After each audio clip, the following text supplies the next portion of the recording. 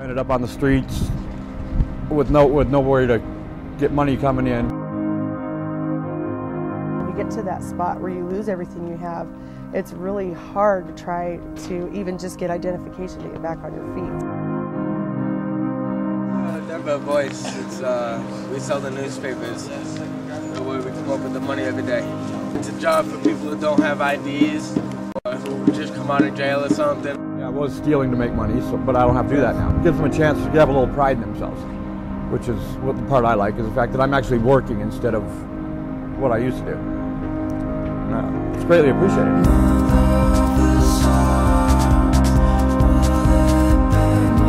Let me back up a little bit and just talk to you about like what exactly a street newspaper is.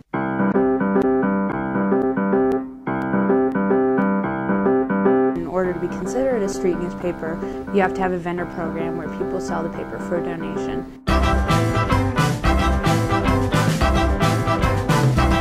Often a very kind of activist point of view, like this is the voice of homelessness and we need to get our voice out there and heard. You know, because the whole purpose and the mission behind it is uh, it's twofold. It's to make homeless issues available and publicly known, and then the other the other mission is really to give homeless people a way to earn some form of compensation or some form of money. The Denver Voice was started in 1996 by um, two homeless people and an advocate, and they um, had picked up the paper in Seattle called Real Change, and they came down here and brought it back, and they're like, we should do this here, and so that's kind of how it started, and it was just, you know, just a street sheet that they got printed on copy machines from start from the starting point to eventually laying it out and pasting all the articles. Around 2006, the woman Kelly Lynn who was running it, she decided to leave, and there wasn't really anybody to take over, so it went under. And Rick Barnes, he's um, a pretty successful businessman here in Denver decided to take over the paper. They started having uh, financial problems pretty much the same time that I was in a position, just from my career and, and from money I had saved and put away, where I could help. You know, I've always just kind of felt like it's everybody's obligation to like help someone out that's not doing as well as they're doing. So my mission was to make sure that everybody who thought they lived in a beautiful environment, you know, make them aware that it's not as beautiful as you might think it is.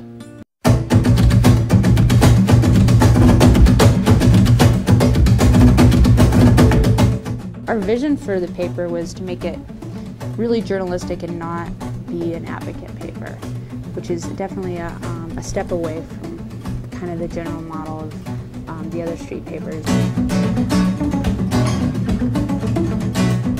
We wanted it to be, you know, fair and balanced. We wanted it to be really artistic as well. 50% of it is written by staff or freelancers that are very strictly journalistic. But we also wanted to have a space in there for um, people to contribute and submit and talk about their experiences with homelessness or poverty.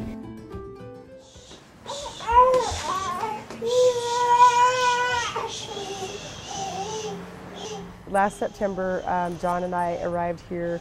We had been traveling because um, we were we used to be needle junkies, and we decided to get sober. We got really wrapped up into our addiction, started using the needle, and we were doing that about six, ten times a day at about a half a gram a shot.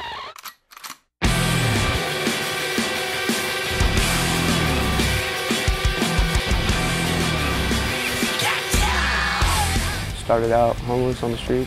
It was really, really tough. It was hard just to even get something to eat. All the money that we were making went to our addiction. When you're in an addiction like that, everybody is uh, using too, and then when you're not using, they, they want you to use so that you'll, I don't know, it's just misery loves company, I guess you could say. They'll even give you free drugs to keep you using. I'm dead serious. And the best way we knew to get sober was also to relocate where we would be in a place where we'd be unfamiliar to the things that were going on. So uh, we packed up what few things we had. We took off in our little Mazda pickup truck. Traveling until my truck broke down, clutch went out in it, so sold that for bus fare. And well, we ended up here in Denver and we were stranded. We went to the, uh, the bus depot. We were trying to get bus tickets to Portland. Because we, of course, Dawn was pregnant at the time. And Jesus Christ, that's a pretty face. Kind you'd find on someone that I was out panhandling on 16th Street Mall and hadn't really made much money. And the next thing I knew, there were three people walked around the corner. It just so happened to be the managing editor, Amelia. And when I asked them for change, Amelia stopped and she said, Well, I can't give you any change, but do you want a job doing something legitimate? And I said, Yeah, that'd be great, but I don't have the identification for it. And she said, Well, don't worry about that. You become an independent contractor. We don't need to see any of your um, ID or anything like that. When we started working for the Denver Voice, our very first day, we ended up in about three hours, three, four hours, we made about $150. So that kept us motivated. So we did start out as vendors and we started out homeless. Uh, we were able to actually get into our apartment two weeks before our daughter was born, which was a real blessing from God too. you pin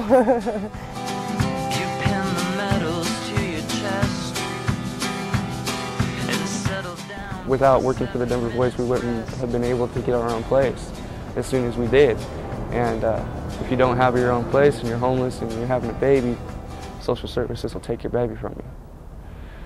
Here was this couple that was uh, trying to get themselves into housing, you know, because Dawn was going to have a baby and uh, basically restart their entire lives for themselves. So John and Dawn, you know, basically jumped in to the whole vendor program and started managing it for us. And Dawn is actually a salaried staff member of the Denver Voice now.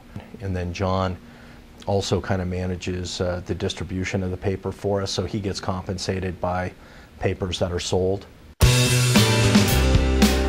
our distribution center for the Denver Voice. Uh, this is where our vendors all gather and meet in the morning to do orientations, restock their papers. This is the drop-in center for street youth up to the age of 26. And the guy that runs this operation, Doyle, is known by the name Socks because uh, when he first started, started going out on the street meeting all the street kids, he would come out and give them brand new pairs of socks. Uh, we don't refuse anybody when they come down to sign up with the Voice. And also, we don't ask to see their identification. The reason for that is because they become an independent contractor, so technically they're working for themselves. Um, they will make their own hours, they choose their own locations, and they are responsible for like building up their own clientele and everything. But they don't have to report back to us. You know, it's uh, it's kind of a way to give them a little bit of ownership over it too, so they might want to take better care of it. Print your name here, date here. Go ahead and sign and date those. So you guys make sure you keep these. So here are your papers. All right. Well, thank you guys. Good luck to you. Do you have any idea where you're going to go this morning to start out?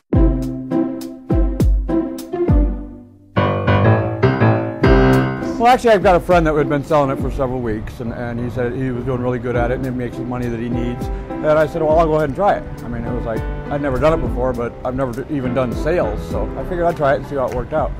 And it's like I did it for the first day, and it was like I actually made some money, so it was like, cool, I guess I can do this. This is how it works. It feels a little worse. Usually people, you know, give me an extra dollar and stuff and You keep 75. It's 25 cents a paper, and and actually it comes out works out pretty good because it's like if you can buy 10 papers, you can make ten dollars, buy two dollars and fifty cents worth, and make more money. It buys my dinner. I mean, if I want cigarettes, I buy cigarettes. Well, I think it's a really good program. I mean, it's like the, the guy set it up to where it helps out the homeless in a way that the programs don't. It was how empowering it was for them to sell the paper and like their self-esteem just like you know gets skyrocketed and they're like look i'm in the paper We thank uh, the Denver Voice for the opportunities that they've given us to uh, come up off the streets because not every vendor has that opportunity. We just came at the perfect timing when they needed people and we were there and willing and God was looking out for us when He provided the Denver Voice for us. It came exactly at the time that we needed it. when somebody comes up to you and said like you know this was exactly the chance i needed you know nobody would hire me you know i'm i'm a convict i can't i don't have an id you know there's so many can'ts in your life that you know when they can just do one thing that just makes the biggest difference Rick Barnes, the publisher of the paper, is a great man. Great man. Very, he's got the biggest heart ever. I uh, enjoy quite a bit my conversations with people on the street because they're so uncorrupt you know, they haven't been gotten completely wrapped up and caught up in materialism and having the best house and having the best car and having the best vacation. Um, I guess all I can really say is thank you to God and thank you for Denver Voice. Otherwise, we wouldn't be where we're at.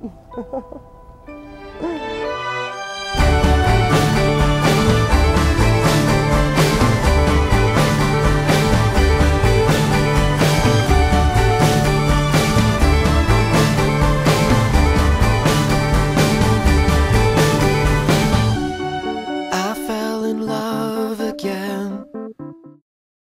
I'm a real big rambler, okay? And so if you ask me a simple question, I might go all the way like this.